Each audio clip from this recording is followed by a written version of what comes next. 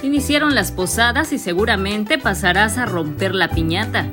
Pero ¿sabes su origen y cómo se convirtió en uno de los objetos mexicanos más reconocidos del mundo?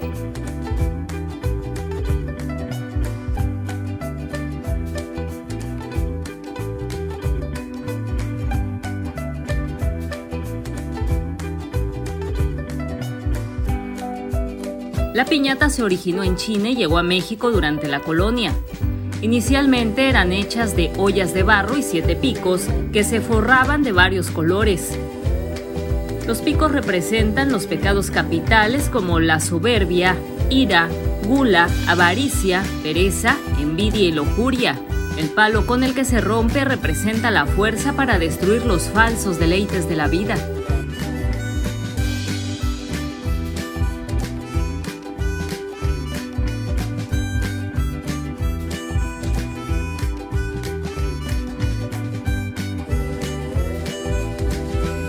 La primera piñata mexicana se realizó en el Estado de México.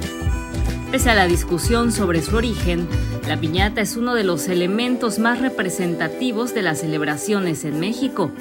Este colorido objeto es un símbolo reconocido internacionalmente de la cultura mexicana.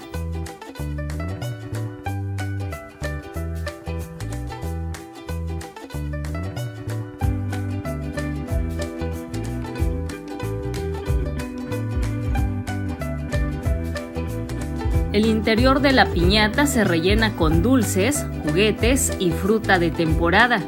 Es precisamente en diciembre, en el marco de las posadas, cuando se aprecia mejor esta histórica tradición en México, aunque también se rompen piñatas en las fiestas de cumpleaños, tanto de niños como de adultos.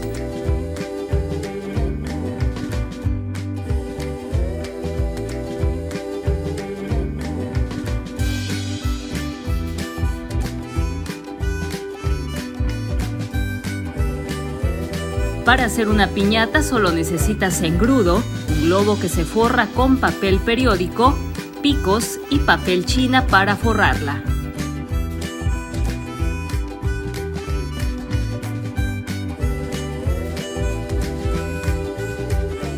Recuerda suscribirte también a nuestro canal Veracruz Día a Día.